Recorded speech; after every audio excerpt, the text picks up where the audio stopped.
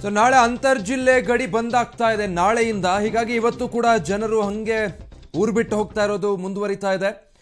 ತಮ್ಮ ತಮ್ಮ ವಾಹನಗಳಲ್ಲಿ ಹಿಂಗೆ ಜನ ಊರುಗಳು ಸೇರ್ಕೊಂಡ್ಬಿಡೋಣ. ಇನ್ನು ನಾಳೆಯಿಂದ ಮತ್ತೆ ರಾಜ್ಯ ಸರ್ಕಾರದ ನಿಯಮದ ಪ್ರಕಾರ ನಾಳೆಯಿಂದ ಜಾರಿ ಆಗ್ತಾ ಇರೋದು. ಅಂತರ್ಜಿಲ್ಲೆಯ ಓಡಾಟಕ್ಕೆ ಅವಕಾಶ ಇಲ್ಲ.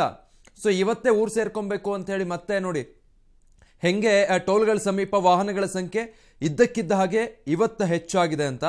ಇದಕ್ಕೆ ಕಾರಣ ಆಗಿರೋದು ಈಗ ಜನತಾ ಕರ್ಫ್ಯೂವಲ್ಲಿ ಅಂತರ್ಜಿಲ್ಲೆ ಓಡಾಟಕ್ಕೆ ರಾಜ್ಯ ಸರ್ಕಾರ ಯಾವುದೇ ನಿರ್ಬಂಧ ಹೇರಿರಲಿಲ್ಲ. ಬಟ್ ನಾಳೆಯಿಂದ ಏನು ಡಿಸ್ಕೌಂಟ್ ಲಾಕ್ಡೌನ್ ಜಾರಿ ಆಗ್ತಾ ಇದೆ. ಅದರಲ್ಲಿ ಅಂತರ್ಜಿಲ್ಲಾ ಓಡಾಟಕ್ಕೆ ನಿರ್ಬಂಧ ಇದೆ. ಸೊ, ಇವಾಗಲೇ ಹೊರಟ್ಬಿಡ್ತಾ ಇದ್ದಾರೆ ಜನ.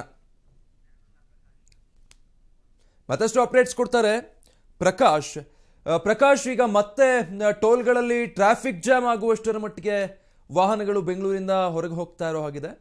ಅಂದರೆ ಲಾಕ್ಡೌನ್ ಇದೆ ನಾಳೆಯಿಂದ ಅನ್ನೋ ಕಾರಣಕ್ಕ ಮತ್ತೆ ಈ ವಲಸೆ ವಿಷಯ ಏನಂತ ಹೇಳಿದ್ರೆ ನಾಳೆಯಿಂದ ಸಂಪೂರ್ಣವಾಗಿ ಹದಿನಾಲ್ಕು ದಿನಗಳ ಲಾಕ್ಡೌನ್ ಅನ್ನು ರಾಜ್ಯ ಸರ್ಕಾರ ಹೇರುವಂತದ್ದು. ಕರೋನಾ ಏನು ಚೈನ್ ಲಿಂಕ್ನ ಬ್ರೇಕ್ ಮಾಡ್ಲಿಕ್ಕೆ ಈಗಾಗಲೇ ಇನ್ನು ಹದಿನಾಲ್ಕು ದಿನಗಳ ಲಾಕ್ಡೌನ್ ಅನ್ನು ಮಾಡಿದೆ.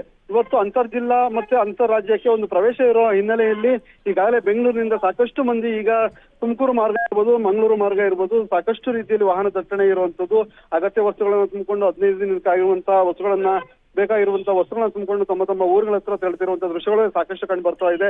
ಅದಲ್ಲದೆ ಏನು ಸಂಪೂರ್ಣವಾಗಿ ಮನೆಗಳನ್ನ ಸಹ ಖಾಲಿ ಮಾಡಿಕೊಂಡು ಬೆಂಗಳೂರನ್ನ ತೊರೆಯುತ್ತಿರುವಂತಹ ದೃಶ್ಯಗಳು ಸಾಕಷ್ಟು ನವೈಗ ಟೋಲ್ ಮತ್ತೆ ಜಾಸ್ ಟೋಲ್ ಬಳಿ ಕಂಡು ಬರ್ತಿರುವಂತಹ ದೃಶ್ಯಗಳು ಸಾಕಷ್ಟು ರೀತಿಯಲ್ಲಿ ಇರುವಂತದ್ದು. ಜನಗಳು ಸಹ ಒಂದು ಆತಂಕ ಇದೆ. ನಮ್ಮ ಊರು ಬೆಂಗಳೂರಿನಲ್ಲಿ ಈಗಾಗಲೇ ಸಾಕಷ್ಟು ರೀತಿಯಲ್ಲಿ ಆತಂಕ ಇರುವಂತದ್ದು. ಬೆಡ್ಗಳು ಸಿಗ್ತಾ ಇಲ್ಲ, ಸರಿಯಾದ ಚಿಕಿತ್ಸೆ ಸಿಗ್ತಾ ಇಲ್ಲ.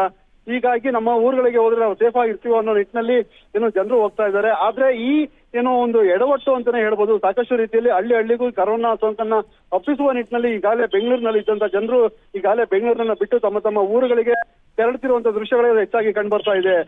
ವಿಜಯ್. ಓಕೆ ಧನ್ಯವಾದ ಪ್ರಕಾಶ್ ಮಾಹಿತಿಗಾಗಿ. ನೋಡಿ, ರಾಜ್ಯ ಸರ್ಕಾರದ ನಿರ್ಧಾರ ಮತ್ತೆ ಈ ಎಡವಟ್ಟಿಗೆ ಕಾರಣ.